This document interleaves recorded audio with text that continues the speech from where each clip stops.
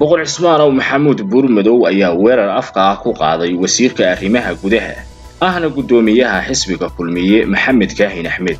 Waxaana uu sheegay in asaasiq iyo arrin la'aani ay ka keentay hadallada uu ku kala qaybinayo beelaha habar jeclo.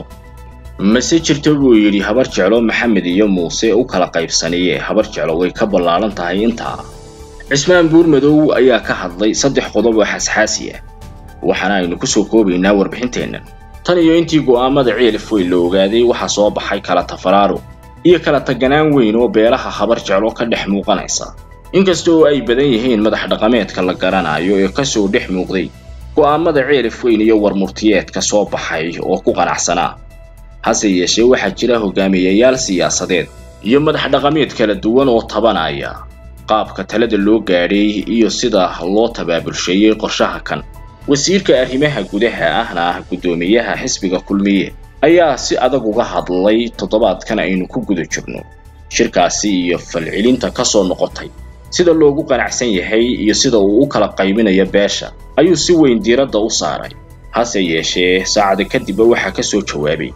Boqor cismaan aw maxamuud buurmadow inkasta oo arartiisa hore ee sheekada uu sheegay in ay go'aan ku gaadheen madax dhaqameedku inaanay u jawaabin maxamed kaahin axmed hadalladan asaasiqu uu haatan ka keenay. Waxa uu intaasi ku daray inuu isagu kala qaybinayo beelaha habar jeclo hase yeeshee aanay ahayn labadan jifo ee uu sheegay ee beeshu ay intaasi ka ballaaran tahay. Taladooda iyo go'aamada ay soo saareen ee magaalada ceelif weyn ka soo baxayna aanay ku gaadhin cadho iyo caatifad ee ay si weyn uga fiirsadeen.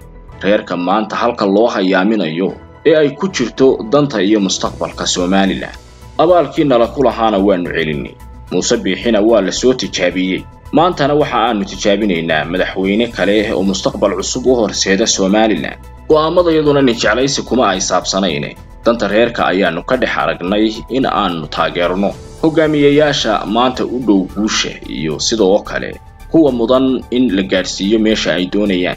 Boqor cismaan ayaa qodobkiisa koowaad ugu jawaabay wasiirka arrimaha gudaha maxamed kaahin axmed oo ka mid ahaa hogaamiyayaasha siyaasadda iyo ragga han kale ee aan lagu soo hadal qaadin magaalada ceelif weyn iyo go'aamadii lagu soo gaadhay ee beelaha habar jeclo ay sheegeen in ay isbeddelka ku raacayaan.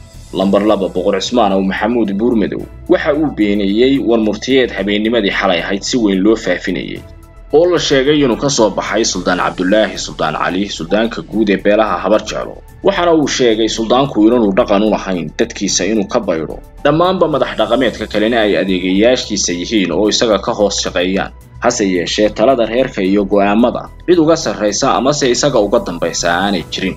Ma uu sheegin boqorka suldaanku inuu ogaa? Iyo in kale warmurtiyeedka ay ka soo saareen magaalada ceelif weyn ee saamaynta ballaadhan yeeshay lambar saddex boqor cismaan ow maxamuud buurmadow ayaa ballan qaaday go'aamada tani inay fulayaan fulina doonaan oo ay sidaasi dhaqangal ku yihiin. Beelaha habar jeclana midnimadooda ay taageerayaan iyo isku soo dhowayntooda hase yeeshee aanay jirin wax kala fogaansho ah oo ka iman karaya go'aamada tan ay danta u arkaan. Ee ay ku gaadheen magaalada ceelif weyn ee galbeedka gobolka sanaag madax dhaqameedka iyo waxgaradka ganacsatada iyo dhallinyarada beesha ayaa u dhammayd go'aankan oo isla qaadatay ayuu yidhi mana aha mid wax iska beddeli doonaan waxna ay kaga soo noqonayaan beeshan. Marka la qiimeeyo hadallada boqorka falaqeeyayaasha ayaa sheegay in boqorka hadalkiisa uu ka muuqanayo isku xidhnaanshaha suldaanka guud iyo isagu inaanu haatan ahayn mid wanaagsan. Murankan iyo ismaandhaafkan ayaa sii soconaya. Ilaa iyo inta suldaan cabdulaahi suldaan cali uu caddaynayo mowqifkiisa